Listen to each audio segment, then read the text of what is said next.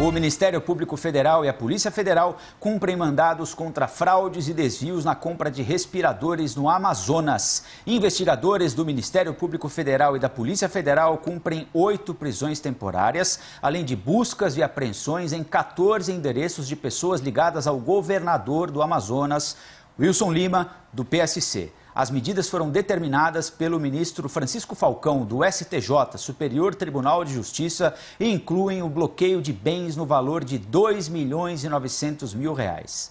Wilson Lima é alvo de buscas e bloqueio de bens. A investigação apura a atuação de uma organização criminosa que estaria instalada no governo do Amazonas com o objetivo de desviar recursos públicos destinados a atender às necessidades da pandemia da Covid-19 com a participação direta do governador, foram identificadas compras superfaturadas de respiradores, direcionamento na contratação de empresa, lavagem de dinheiro e montagem de processos para encobrir os crimes praticados.